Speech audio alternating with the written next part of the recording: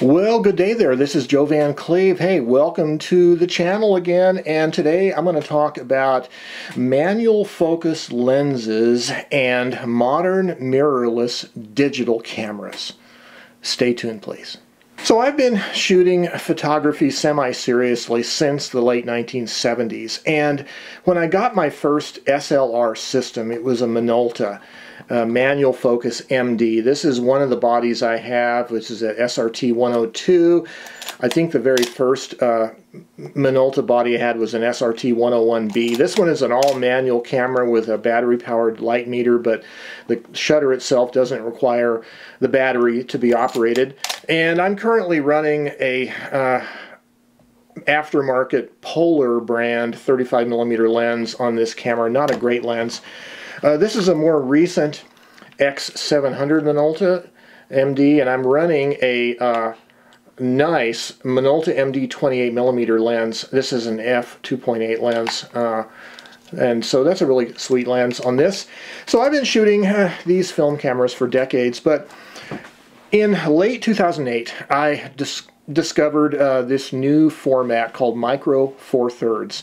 Micro Four Thirds was the first mirrorless camera format. Mirrorless meaning interchangeable lens, but a direct live view camera without a mirror flapping up and down.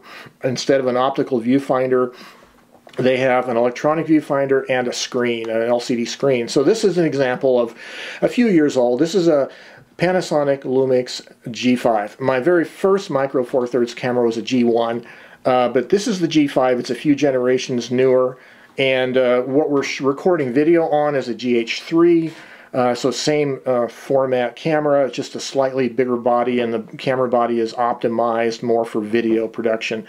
Uh, so I've, you know, I have a number of electronic autofocus lenses for the Micro Four Thirds system, but I also really enjoy and I really missed uh, these old uh, manual film camera lenses with their manual aperture rings and the manual focusing uh, ring and having your depth of field scales right on the, the camera, on the lens itself. I really missed it and I really like this old glass that I have. Look at this Tokina, uh, Minolta MD Tokina with massive glass and this is an f2.8 at all focal lengths 80 to 200 millimeters uh, a great lens a great telephoto lens kind of a good portrait lens actually so uh, I was using the, the, the new mirrorless cameras for a while, and then it came to my attention, and other people uh, began to notice this also.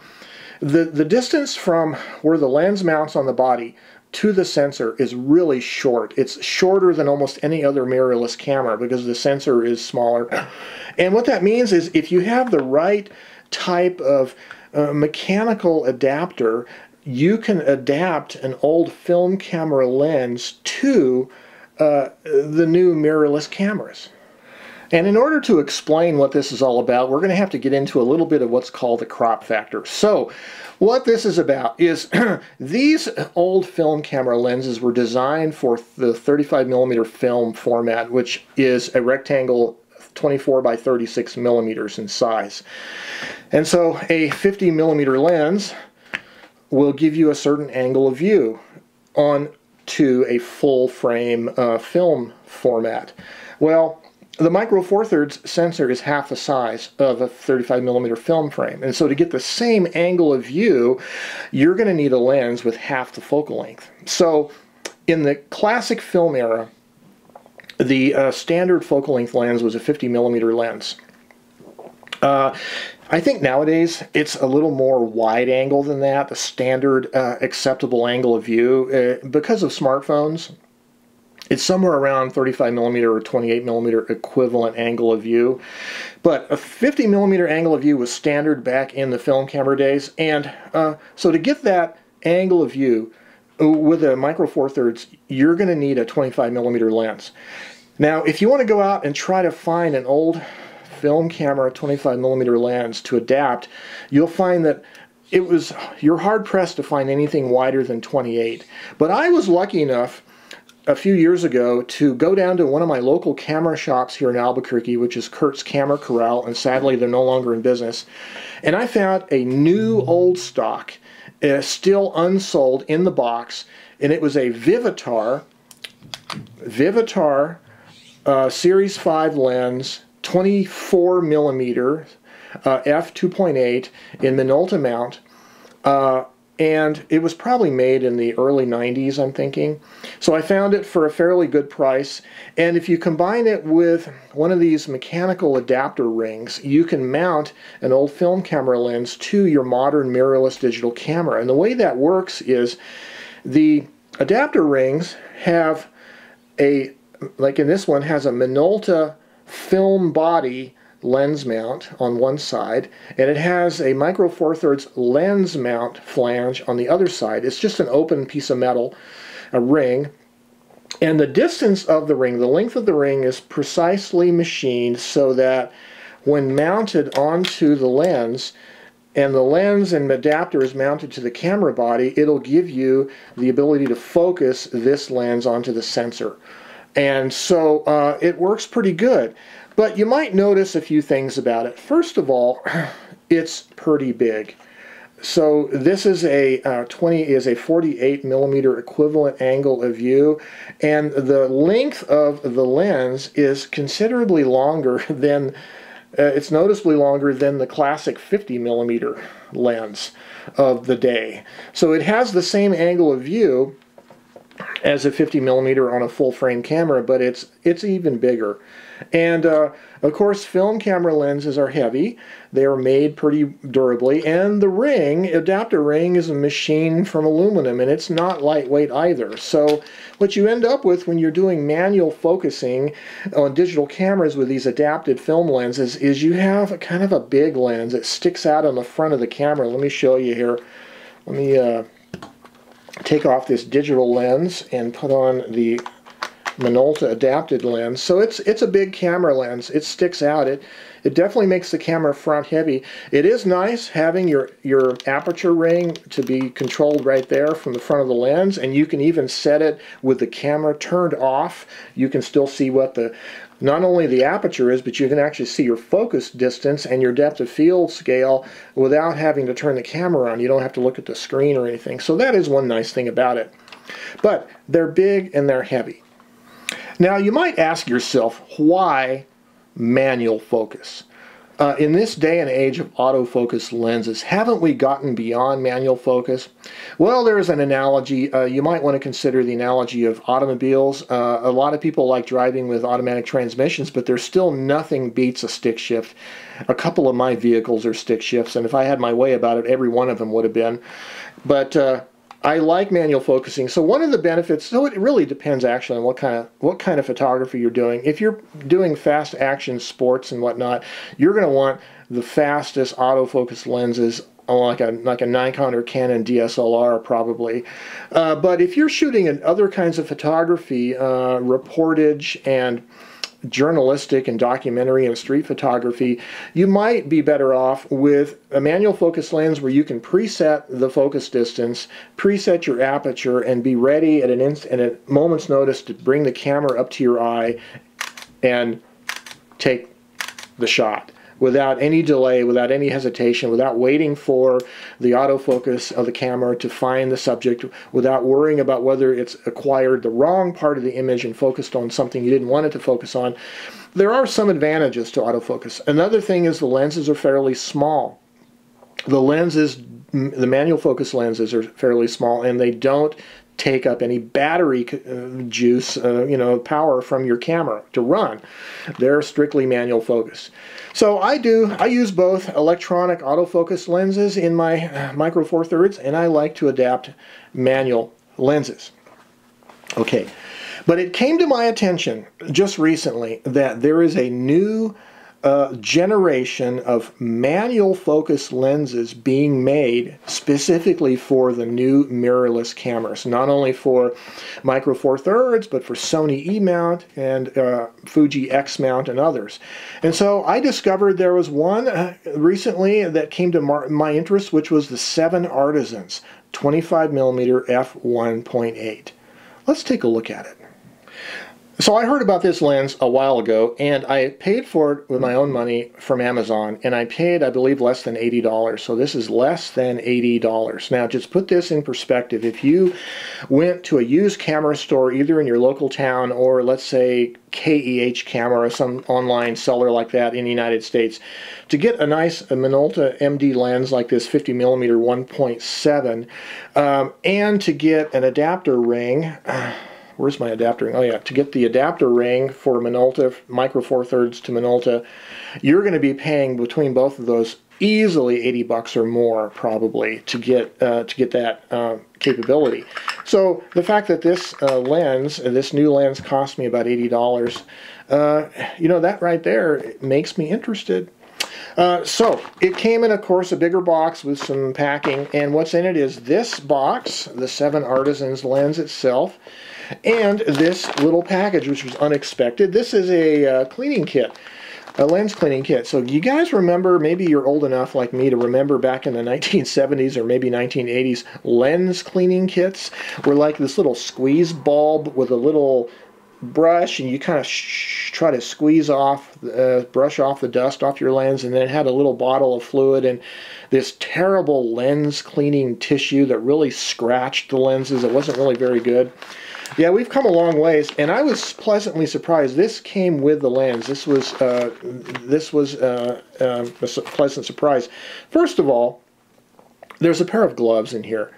And these are extraordinarily cool. These are really thin, probably nylon or some synthetic material, but it has this textured, bumpy uh, surface on the grip, and, and it reminds me that this could be the kind of gloves that the uh, that they use, they wear in the factory when they're assembling these lenses. It has that kind of a feel to it, right? So that was pleasantly surprising to have these gloves. They're surprisingly high quality. And of course it comes with the microfiber cleaning cloth and the little cleaning fluid. But that was a little bonus surprise that came with this lens. Let's look at the lens itself.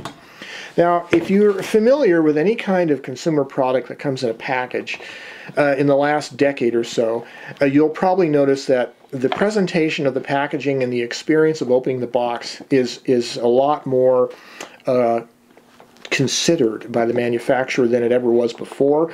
And I think a lot of the credit goes to probably Apple because they pioneered a lot of this presentation and the way the package looks when you open it. But so it's not surprising that you get a little bit of a kind of a nice presentation. You have this nice logo here we will put that box over there out of the camera view.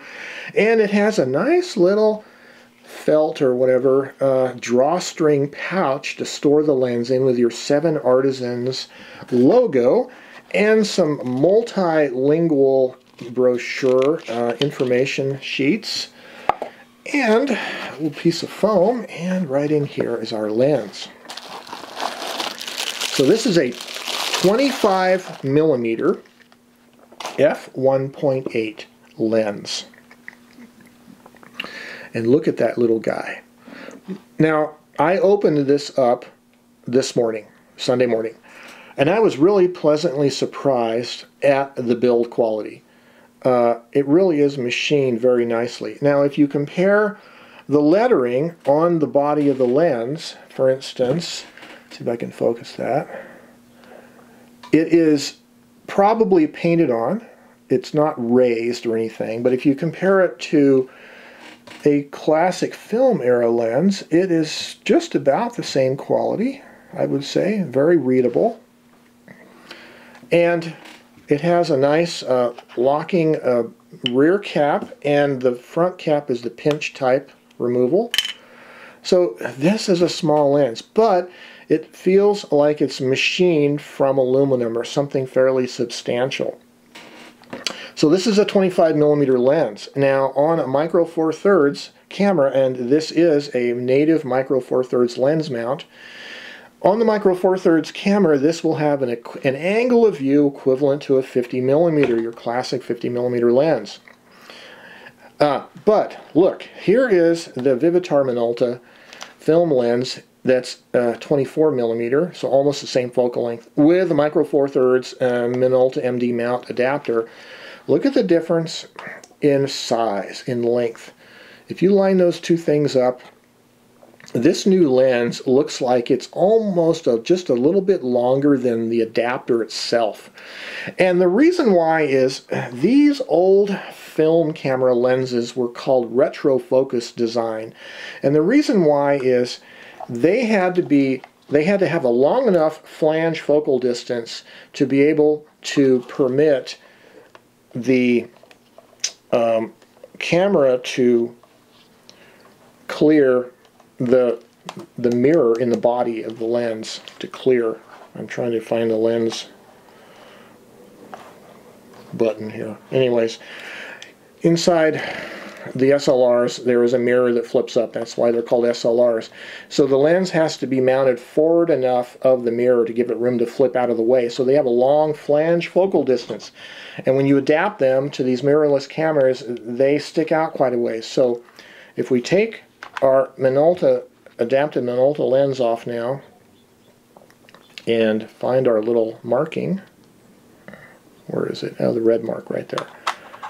And mount it to our Lumix G5 Micro Four Thirds camera. Now look at it. Now look at that. That is a 50 millimeter equivalent lens, and boy, it makes this camera look really small.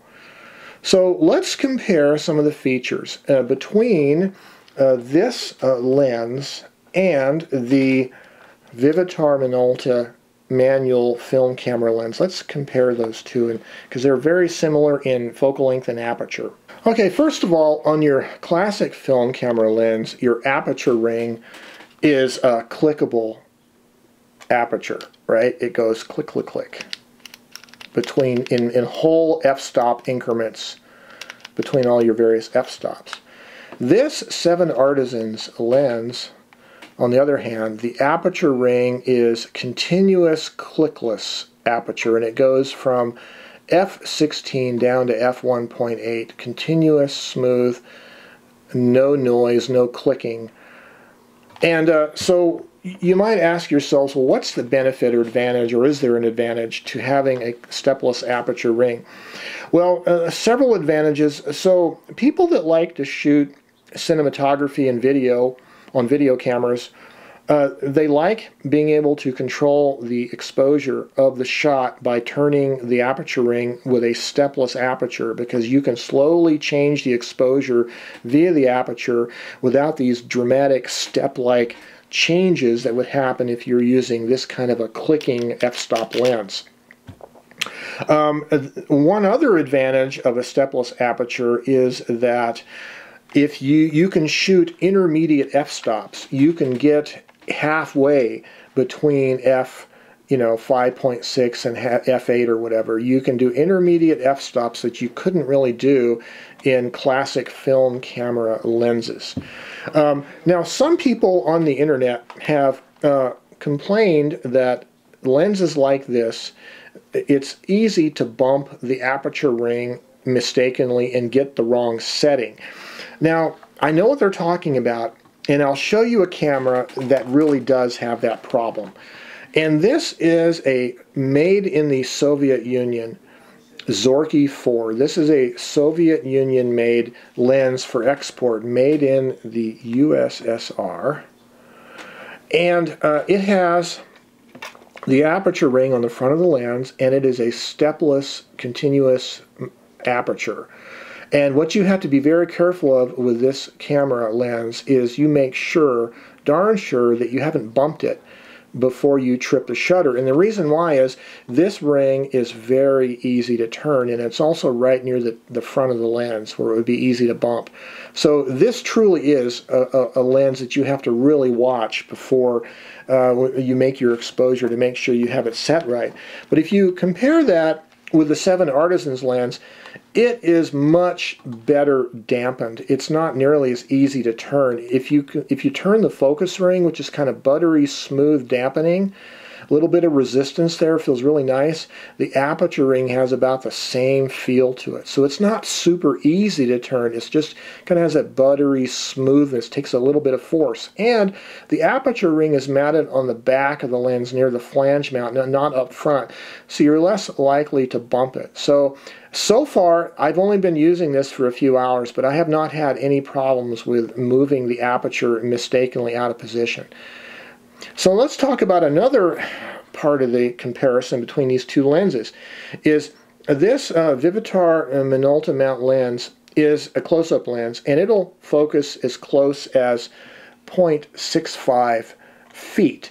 But the focus throw on this lens is almost a half a turn between infinity focus and close focus, right? So and so I've always had a problem with this lens for that regard because, uh, you know, if I'm focusing out on the street and I may be focusing close into something like on a light pole or a sign or maybe someone close up to me, and then I want to focus across the street at some distant object, you have to really turn that thing. There's a lot of motion, multiple movements of your wrist, if you will, and it's not quite as convenient to, uh, to use, and it's a slower lens to operate. But in comparison to that, the Seven Artisans lens, the focus ring is up on the front, and it is about a third of a turn, maybe. So it's about, it's less than a third, it's just over a quarter of a turn of the ring to go from infinity down to 0.6 feet, which is even closer focusing than this macro lens. So this focus is really close. It has a shorter focus throw, and there's some nice ribbed texturing on the side of the lens here and here so you can just use your fingers even just one finger you can sit there and just nicely focus it just the way you want really, I'm pre pretty impressed with the way that the build quality, the uh, surface appearance, and the buttery smoothness of this lens, both the focusing ring and the aperture ring. Now, one of the other uh, differences between the Seven Artisans lens and my classic Minolta film camera lenses is most of the Minolta and many other brands of film era lenses have either a five or a six bladed aperture. I think one of mine has an eight bladed aperture, but they're they're regular polygonal shaped uh, apertures, and so when you catch an out of focus light flare in an image, it's going to look like the polygon, like that 24 millimeter Vivitar lens is going to look, look like a, a pentagon, and it's not a very pleasing out of focus rendition. But if you compare that with the Seven Artisans lens, what does this have? Well, as it turns out, this has a nine bladed aperture. And uh, it's this is stopped down part way. It is a nine bladed aperture and the aperture blades are curved. So it gives it a round uh, circular aperture appearance at all aperture settings. And this is really important. Uh, this is uh, something that we never uh, had available to us in the classic film camera era with any kind of lenses that were affordable. M most uh, round aperture looking uh, uh SLR lenses were really high end lenses. So the fact that you can get a nine blade curved aperture a curved blade aperture uh, lens for under 80 bucks is just uh, incredible you know so again, that's another one of the attributes of this lens I really like. And I think the brand name, the Seven Artisans name, kind of reflects this idea of that it really is kind of oriented uh, for uh, appreciating the out of focus characteristics of the lens. It really has gorgeous bokeh, and uh, especially with this round aperture, circular aperture. Okay, so how does this lens perform optically? Well, I haven't had opportunity to shoot high resolution raw photographs, import them to my computer, and examine them close up on my big computer monitor. But the cursory examination I've done is it's pretty good lens. I would say this Vivitar Minolta lens is not an exceptional lens, and it, this is probably at least as good, if not better than it. I haven't really examined the corner sharpness on this. Uh, it's probably slightly soft at the wide open apertures, but by the time you get down to f8 or so, I'm sure it's going to be probably a lot uh, uh, sharper corner to corner. Um, micro contrast looks okay. There's a slight amount of pin cushioning, very slight I noticed on the sides on this lens. Um, but for video use, you'll have to decide if that is um, acceptable to you or not. But for still photography, that kind of distortion can be easily corrected in post-processing software. So it's not a big deal for still photography. By the way, a lot of these old film camera lenses are not really that good optically. Um, you'd be surprised. Uh, these, a lot of these do have a little barrel distortion. They do have um, some uh, issues uh, like corner softness, especially some of the bigger, wider lenses like this 58 millimeter f 1.2, really fast lens that is more of a portrait lens, I guess, uh, and it is pretty darn soft, wide open. But um, Another aspect of the build quality is if you look at the uh, reflections of light in the lens itself, let me focus on the lens if I can, there's multiple reflections of light and you can tell how many surfaces in the internal optical elements are coated. So you see the big bright green reflection of my Venetian blinds behind the camera. That's the front surface of the lens, and it is definitely coated because of the coloration, but there's several reflections behind that that are white colored, and that means some of the internal optical elements are not coated, and then there's another greenish blue reflection behind that. So this is what you would call multi-coated lens, but it's not a fully coated lens like, for instance, let me see, is the 50 millimeter, what is this? Let's see, this is the 35 millimeter. Oh, this is the 50 millimeter Minolta. And the 50 millimeter Minolta is more fully coated, I believe. I believe all the reflections are colored. So it is a fully coated design. So uh, the difference here is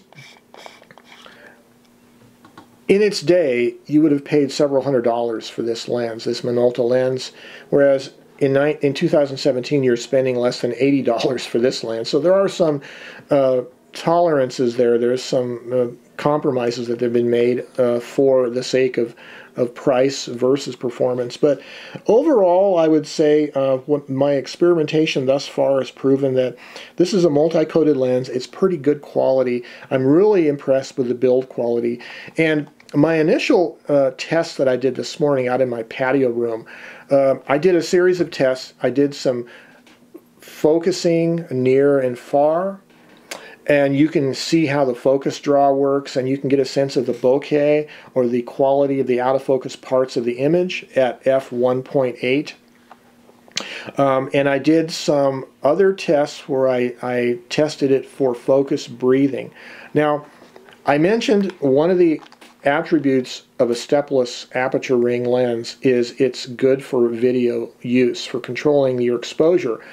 But not all lenses that are stepless apertures are actually optimized for video use, and only the very expensive ones are. You'd be surprised um, how many expensive lenses are not uh, are not perfect optically. And one of the imperfections is a thing called focus breathing uh, that is acceptable in still photography, but for video use, it is noticeable. This lens does have focus breathing, and I will demonstrate all of these uh, tests I did here, and we'll go to the focus test, uh, the rendering of out of focus areas, and we'll look at the focus breathing, and we'll cut to that right now.